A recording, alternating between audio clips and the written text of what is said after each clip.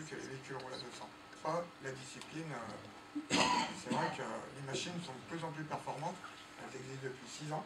Donc déjà, on est passé de 800 cm3 à 1300 turbo. C'est des véhicules qui font 500 kg. Grâce à Lucien, naturellement.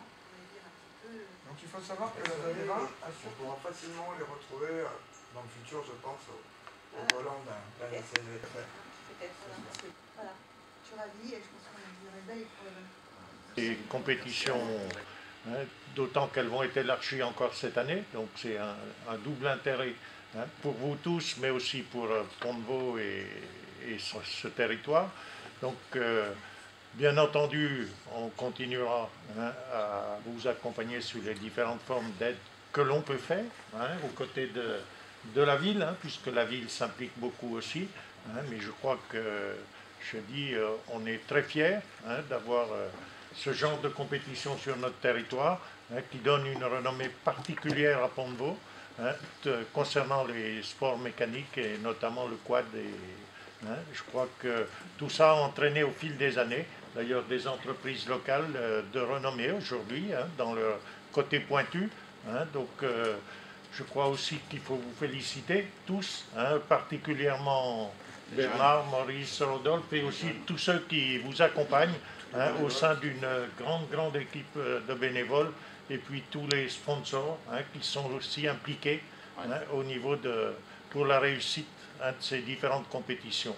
En tout cas, euh, nous continuerons à vous accompagner, sachant qu'on ne peut pas faire n'importe quoi non plus, puisque ce n'est pas un secret. hein. L'État diminue ses dotations au niveau des collectivités, et malgré ça, on continuera, mais on ne peut pas faire non plus. euh, on est obligé de suivre au fil des années, mais pas de, gros, investissements comme on a pu faire par le passé.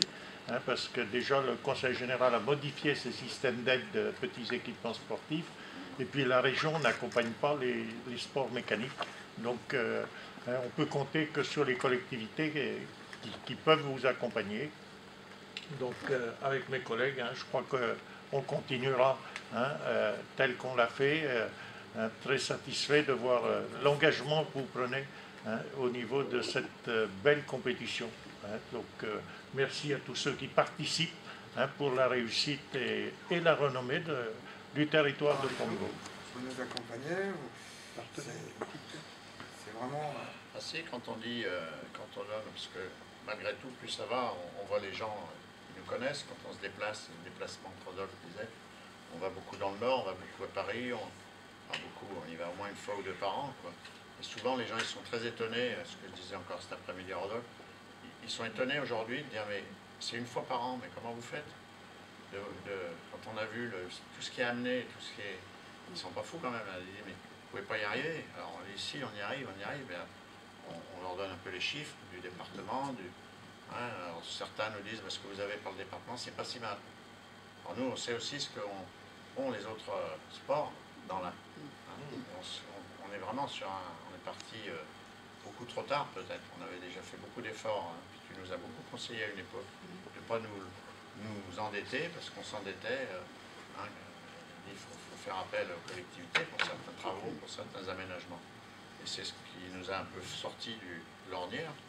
Euh, maintenant, bah, c'est sûr qu'il faut absolument que PDV2 arrive à, s'installer, à prendre forme sur 4-5 ans plus, mais il faut que ça prenne un, un- avec une structure qui, que des gens comme Rodolphe peuvent gérer mieux que nous, les anciens, parce que nous, on n'a pas cette vocation-là. On a su faire les 12 heures, mais euh, je dirais qu'aujourd'hui, euh, il faut, quand on parle, Daniel parle de formation, de choses comme ça, il faut des formateurs, il faut des, des structures d'accueil et euh, voilà, c'est tout un ensemble qui fait que ça. Je sais que Douillet doit revenir prochainement là, sur le circuit.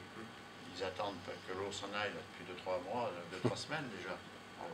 Bon, il faut être capable d'accueillir, il faut être capable de. Voilà, après nous, euh, hein, on est tous chez nous le dimanche où euh, Bernard il est sur ses motos de course. Euh, moi je suis sur vélo, mon vélo.